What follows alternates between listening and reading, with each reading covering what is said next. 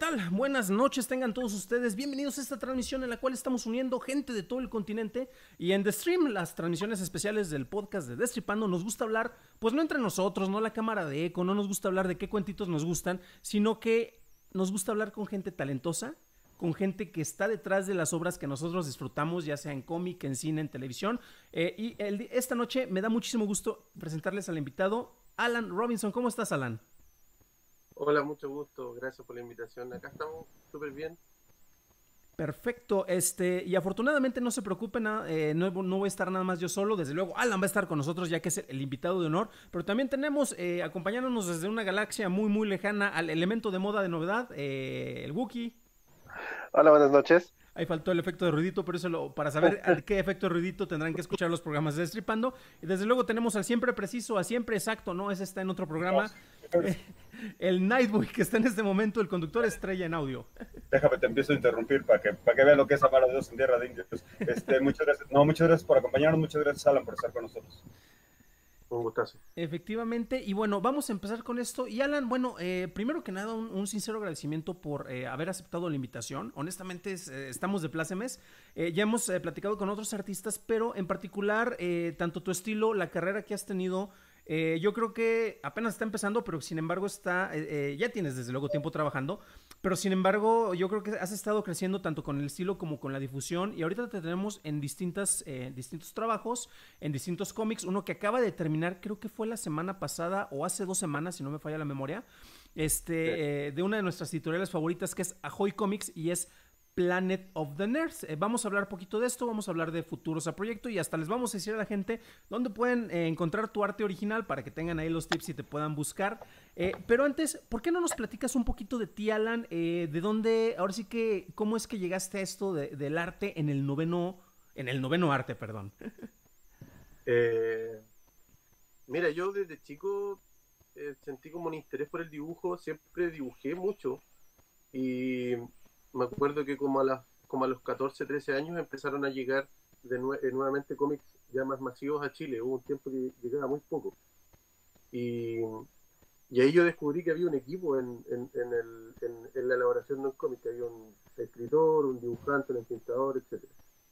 Y ahí, como a los 13, 14 años, dije, esto es lo mío. Yo quiero dibujar cómics eh, para vivir y me fui preparando, empecé a estudiar mucho, empecé a leer mucho cómics. Eh, todo lo que, lo que podía leer trataba de hacerlo y estudié diseño gráfico como para tener una carrera que me ayudara con el tema de la comunicación.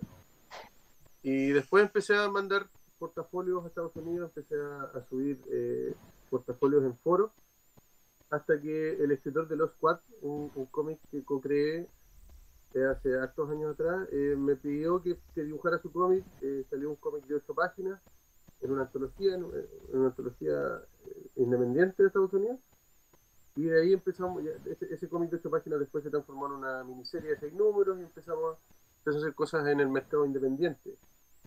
Hasta el 2008, que fue la primera que yo hice ya en el mainstream, que fue Star Wars. Ah, y es que eso es. Perdón, e, e, eso es muy interesante porque efectivamente, bueno, tú ya tuviste un contacto con, eh, obviamente, eh, eh, distintos equipos y bueno, arrancaste de lo independiente, pero oye, llegar a Star Wars no es como que cualquier cosa, ¿eh? Este... no, mira, fue, fue súper entretenido porque mandé, mandé portafolio a editoriales ADC, Marvel y Dark Horse. Y en Dark Horse me contestaron a los meses después y yo pensé que era broma, porque yo igual soy fan de Star Wars, entonces y dije, alguien me está jugando una broma porque era muy, eh, era muy bueno el, el, el, trato, era muy bueno lo, que querían. Y hice un número de eh, Legacy primero y después hice uno de Caballeros de la Vieja República. Y después eh, ahí me fui a IW, empecé a trabajar, hice una miniserie de Terminator y, empecé a hacer otras cosas de, de IW con el tiempo. Mm. Hasta que quedé hoy hace un par de años. Vaya, ¿no? Y la verdad, este, ahora sí que te ha, estado, te ha tocado trabajar en, distintas franquicias muy importantes. Nuevamente, Star Wars no es cualquier cosa. Terminator, eh, tú lo mencionabas. Back to the Future, yo ahí confieso que fue donde te conocí, eh, precisamente porque, bueno, de entrada por, por los personajes, pues a los que somos hijos de los ochentas, pues seguramente este, nos trae bonitos recuerdos, ¿no? Y de repente fue así de que, ah, mira, está interesante, obviamente la historia retomando los personajes, eh, ahí fue donde, donde el primer contacto que tuve con tu arte. Y bueno, eso nos lleva eh, directamente a lo que tenemos actualmente en Ahoy. Y para hablar de eso tenemos algunas preguntas y comentarios. Me gustaría que empezáramos con, eh, con Nightboy, con, con Richard Grayson. Eh, algunas preguntas que tengas concretamente sobre el trabajo pues de Planet of the Nerds, ¿por qué no nos vamos de una vez para allá? Sí, no, así, así directamente. Uno, este, ya saben, bien, bien, este, sutil yo. Eh, no, uno, de entrada felicidades, porque trabajar en una editorial independiente que está, que está creciendo como lo está haciendo Hot Comics, pues debe ser un gran orgullo y no debe haber sido fácil, ¿no? Como lo mencionas, primero eh, Dark Horse, eh, varias cosas con Terminator, Back to the Future, etcétera, etcétera. Tú eres co-creador de Planet of the Nerds, ¿es correcto? ¿Ah?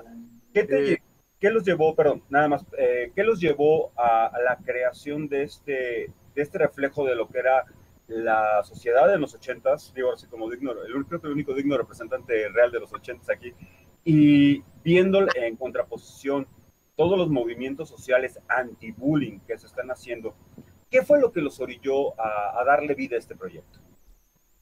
A ver, eh, yo tengo el título de co-creador porque en realidad me uní a, Paul, Paul Constant, que es el escritor de, que en realidad es el, el que, al que se le ocurrió la idea de, Planet of the Nerds.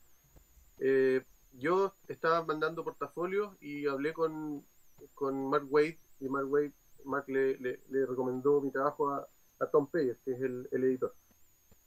Y el tema es que con, con Paul, que es el escritor de, de Planet of the Nerds, como que hicimos, eh, calzamos al tiro eh, con, nuestras ideas. O sea, lo que yo plasmé en el papel, a Paul era lo, eh, en realidad era lo que Paul estaba pensando y, y resultó que le, gustó mucho mi trabajo y me dijo, no, me dijo, esto hagámoslo entre los dos, seamos co-creadores y todo el cuento.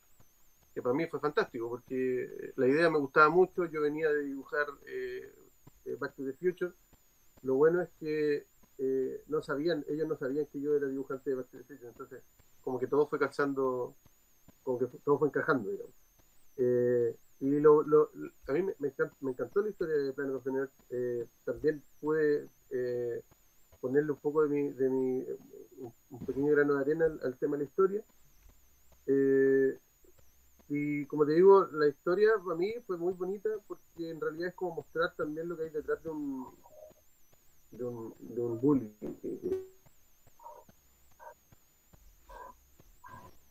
Perfecto. Este... Ah, no, te, seguimos escuchando, Ala, no te preocupes, ¿eh? Ah, súper, ya. Lo que, lo que se muestra de repente, lo que, lo que la vida nos muestra, eh, no son, realmente no son ni negro ni blanco, sino que hay, sino que hay matices. Entonces, esto, eso es lo que nosotros queríamos mostrar también y al parecer tuvo buena recepción, así que estamos súper contentos con eso, pues estamos, estamos felices de haber, de haber marcado un, un, pequeño hito al mostrar la otra cara, digamos, del bully, que, que tampoco es tan malo, sino que eh, quizás necesita que, que, lo, que, lo, que lo entiendan, igual que, igual que todos nosotros, digamos.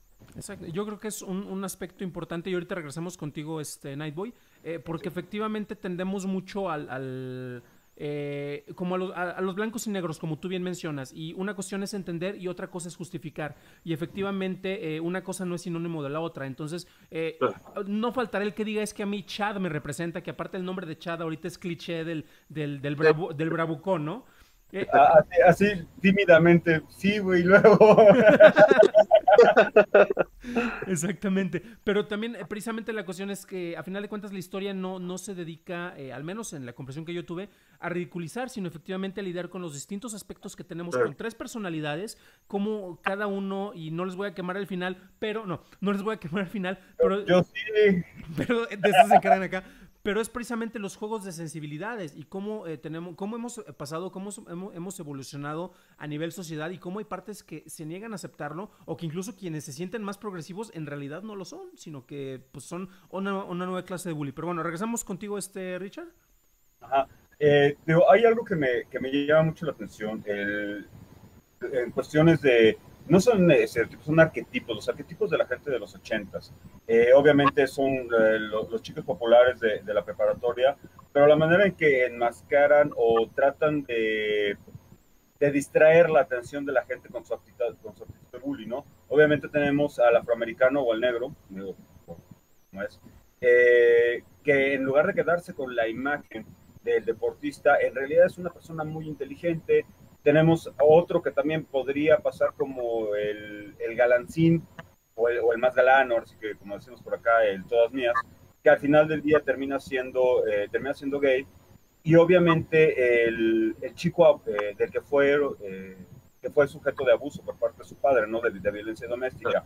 Eh, todo es, todos estos arquetipos de, digo, no por tratar de justificar la, la conducta de los bullies, pero todos, y, porque al final vemos que hay un personaje que creo que es de, por lo que se desencadena todo esto, que en realidad es el más violento y agresivo, aunque de una manera más pasiva contra todos ellos.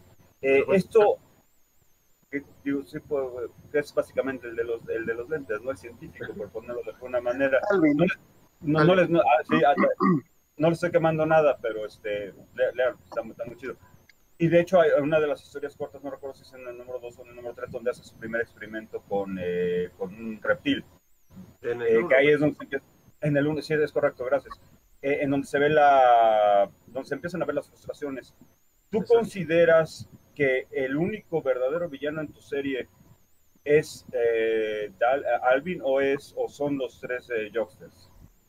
Lo que pasa es que el, el, lo, lo, bueno de la historia es que va como mutando. Entonces, al principio, los, claro, los Jocks son los, villanos al principio y, y después uno va, va, como. Que, que, es como en la vida en realidad. Que uno de repente, cuando empieza a conocer a la gente, se va, se va dando cuenta de que tiene muchos problemas, que tiene muchas trancas, como le decimos acá en Chile. Y que hacen que las personas sean grises y no sean blancas y negras. Entonces, eso es lo, lo bueno de la historia también, que va mutando y al final uno va como. Eh, como poniéndose del lado de los jocks o de, de los matones, entre comillas, va como entendiéndolo de, en cierta forma y quiere que y quiere que, que, la historia salga bien para ellos. Entonces, eso, como te digo, eso es, la, eso es lo rico de la, de la historia, que, que, va mutando. Y yo encuentro que, eh, que se entiende así por lo menos. Exacto. Vamos a pasar ahorita a preguntas. El Wookie, ¿tienes este algo también preparado sobre esta serie o sobre alguna otra serie de en No, es sobre esta. Ok. Dale. Eh, sí, lo digo ahorita que he mencionado Nightbot de no son totalmente malos lo, los bullies, todos tienen como sus áreas grises. Eh, y de hecho lo mencionan en el primer número, que este Chad es como entre el malo del Karate Kid y Beef. Y tú ya habías dibujado a Beef. ¿Esto fue consciente o fue una casualidad? Porque sí, sí se parecen los trazos que haces en, en ambos. eh, traté de que no se pareciera mucho. O sea, traté, el, el, o sea cuando me llegó el guion, yo vi, yo leí a Biff. Eh, no sé si se entiende. O sea, yo vi las características uh -huh. del personaje y para mí era Biff. Pero traté de que no se pareciera mucho tampoco. Traté de que se notara un poco. Habían cosas que no podía que no pude cambiar.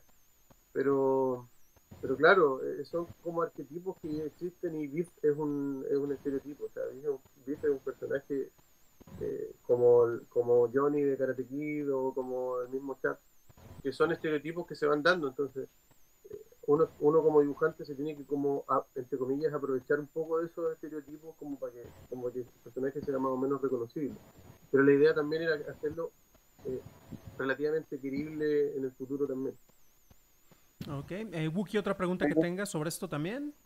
Eh, sí, eh, digo, todo es como muy ochentero y ahorita con la cultura pop, pero lo eh, que quedan congelados, eso es como de...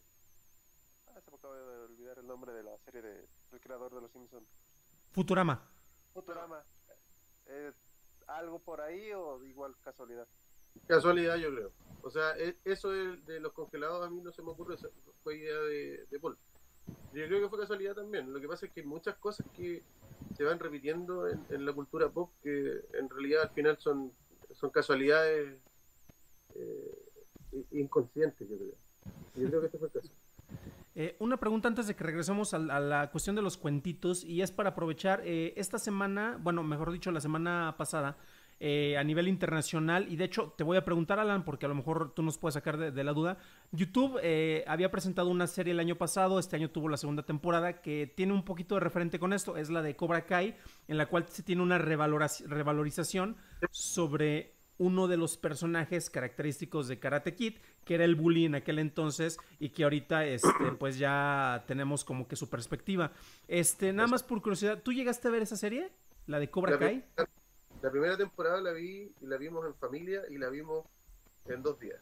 Ah, o sea, ¿sí les gustó?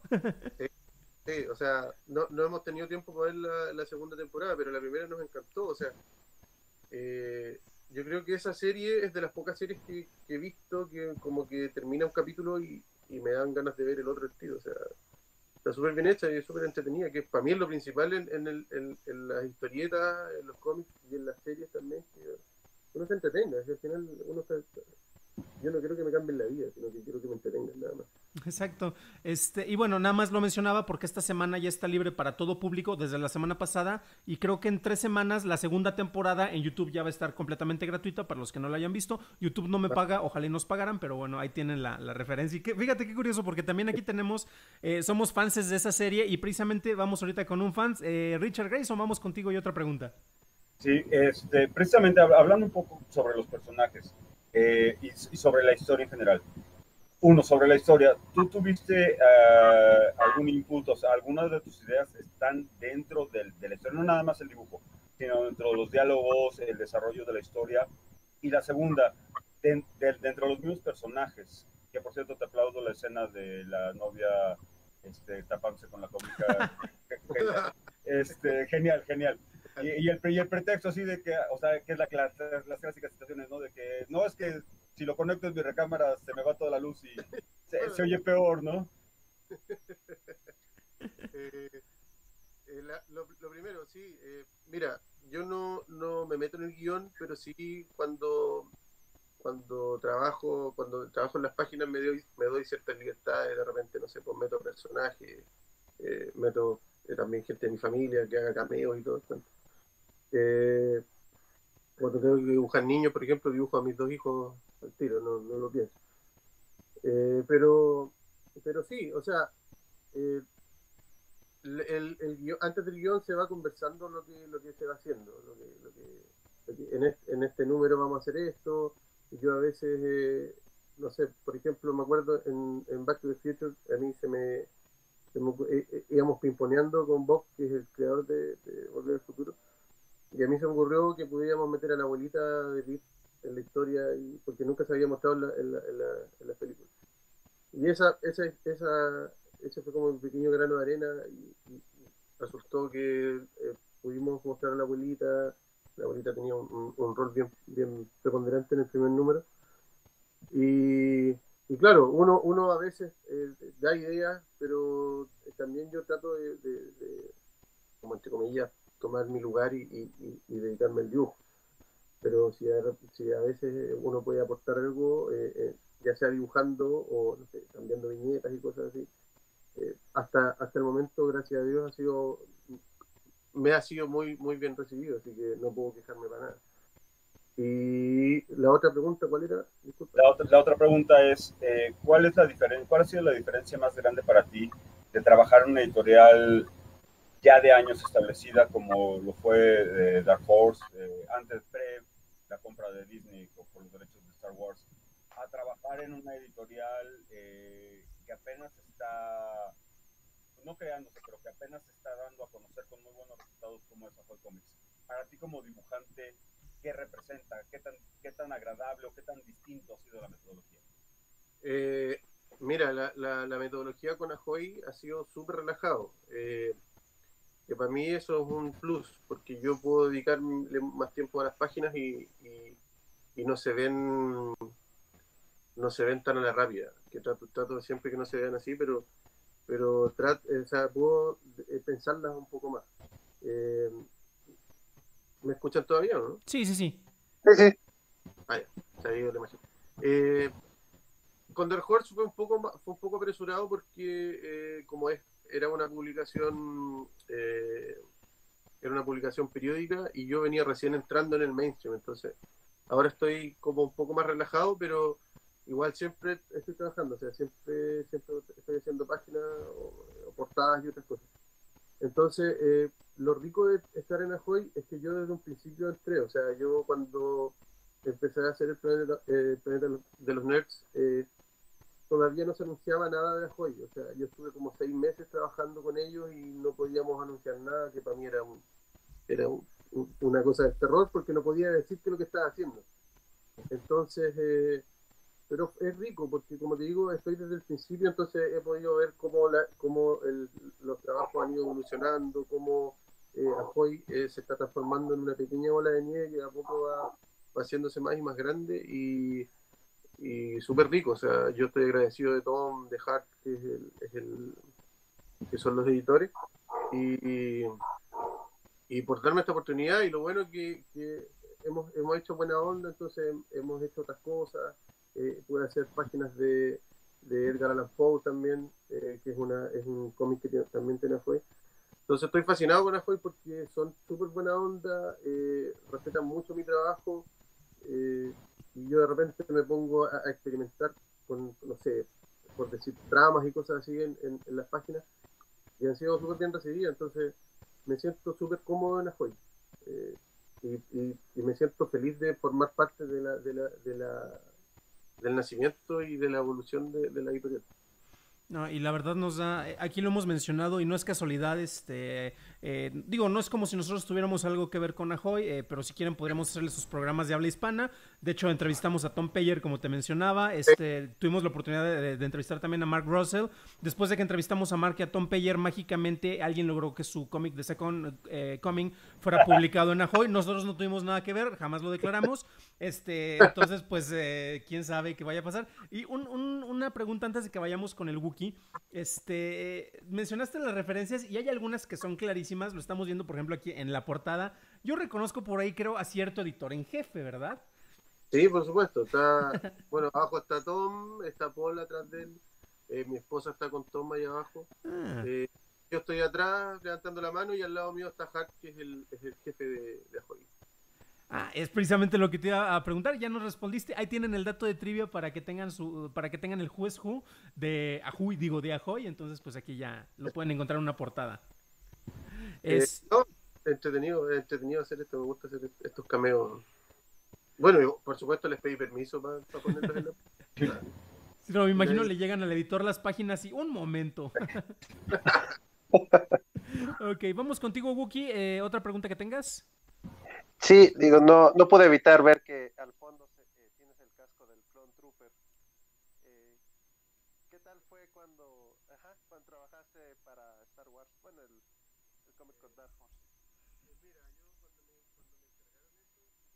el número que hice, eh, yo hice una fiesta, con eso te digo todo. O sea, yo soy fan de Star Wars.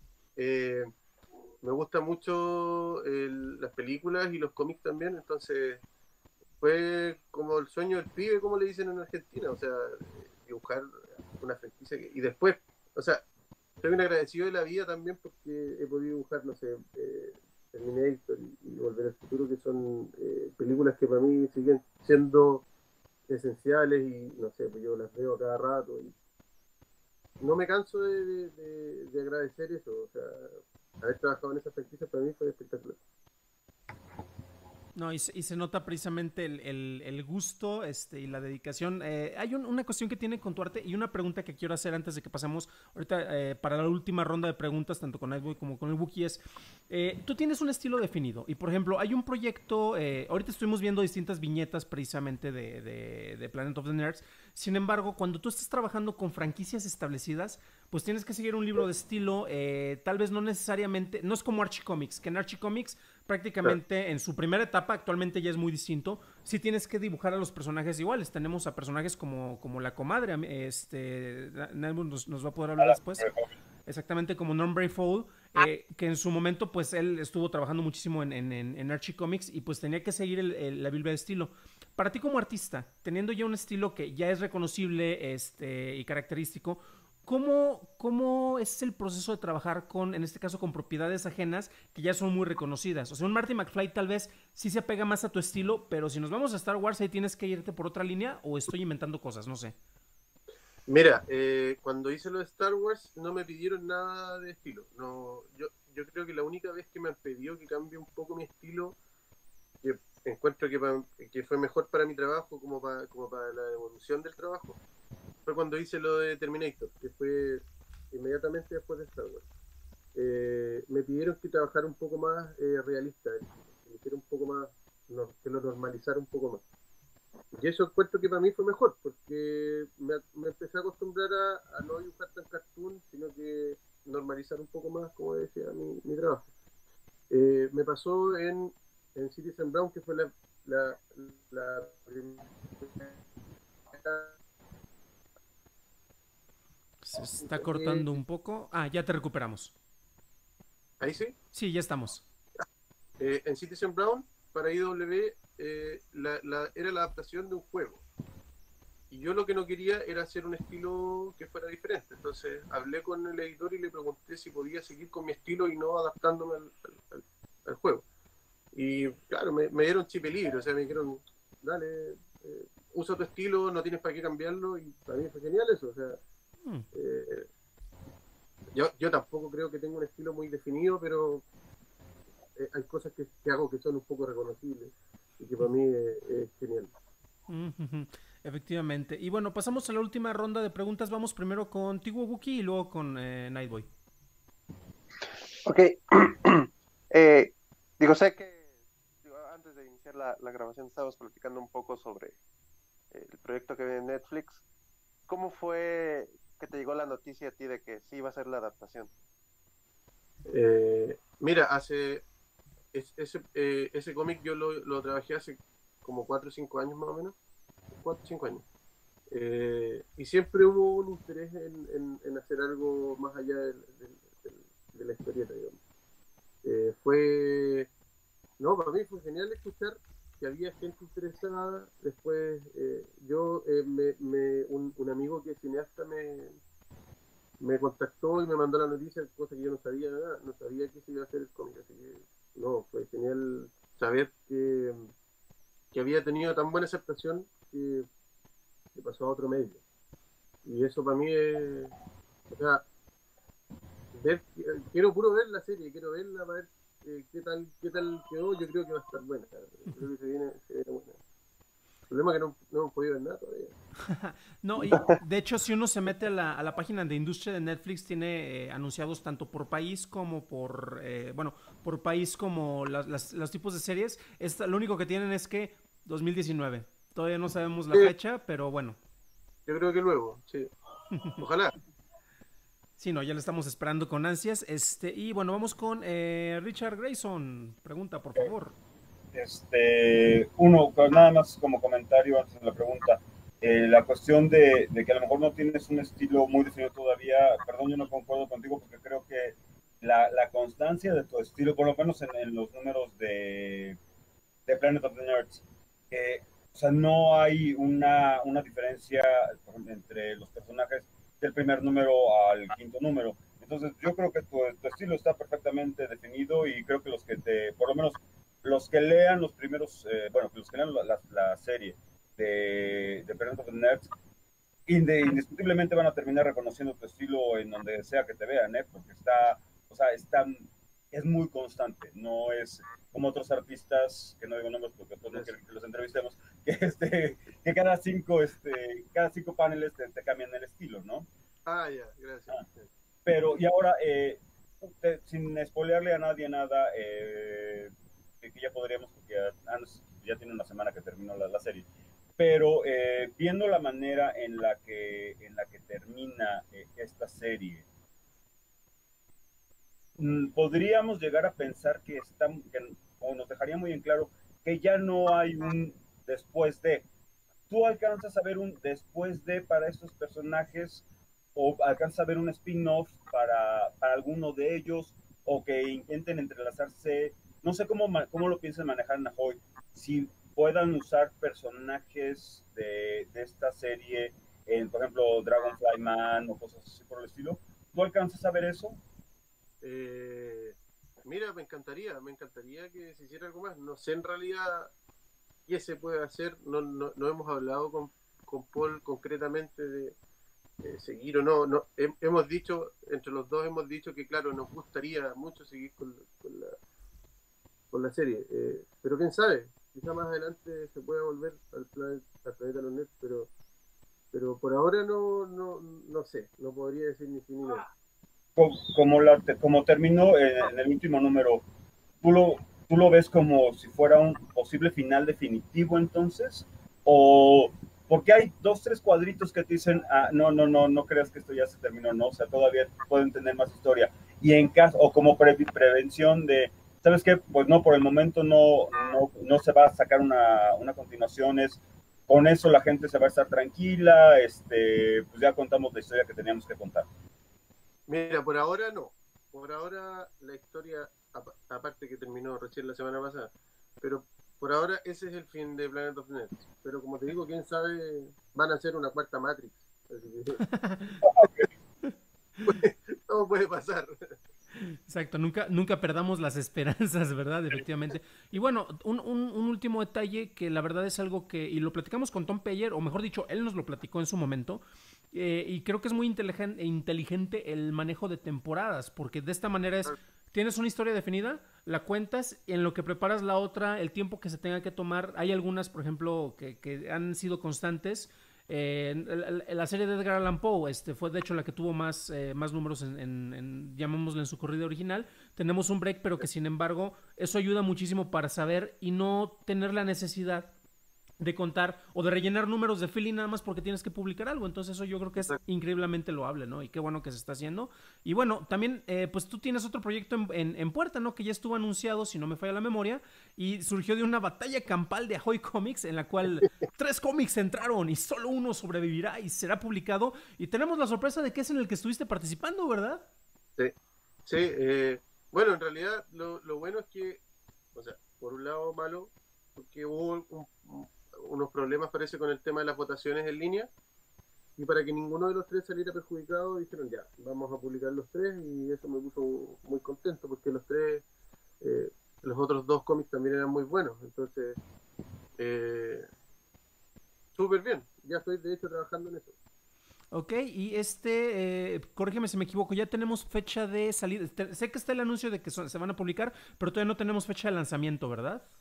Eh, se supone que a principios de 2019, ah, si no me equivoco. ¿De 2019? Perdón, de 2020. no, con eso de volver al futuro. Future, back to the future. Demonios, alguien está corrigiendo. De 2020, ya estoy enredado. alguien nos está corrigiendo la continuidad en este momento. Pero bueno, eh, en caso de que la gente te quiera contactar, eh, curiosamente pueden hacerlo de una manera muy directa y es lo que mencionamos al principio. Y estabas compartiendo en distintas redes sociales, este, Alan, eh, vas a estar presente en una convención precisamente este fin de semana. ¿Nos podrías dar algunos detalles? Eh, sí, mira, este fin de semana estaré en una convención en Santiago de Chile que se llama FIC, que es una convención de cómics eh, y de narrativa gráfica que está solamente centrada en lo que es cómic o historieta. Y es una de las mejores, para mí es una de las que me encanta ir porque eh, me encuentro con, gente aficionada a los cómics y también me encuentro con mis amigos, colegas y, podemos hablar, como se dice aquí en Chile, echar la talla, que es como distendernos un rato. Y como te digo, es una de las convenciones más centradas en los cómics. Eh, y ahí va, a haber otros autores también chilenos y del extranjero. Entonces ahí lo tienen, eh, busquen por ahí, va a estar en, en, alguno de los stands, en alguna de las mesas. Está Alan Robinson, lo, lo, lo identifican fácilmente por el hoodie rojo. Eh, bueno, si se lo lleva, ¿verdad? Si no se lo lleva, este, pues no. se la, también se la. Se pueden comprar el número 5 de Planet of the Nerds y ahí lo tienen como referencia.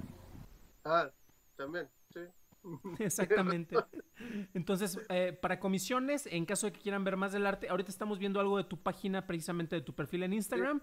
Ahí se encontrarán distintas eh, muestras de arte. Precisamente aquí tenemos eh, también del, de, uno de los cómics que mencionábamos, del de, de los que se dieron de Steel Cage, que es True Identity.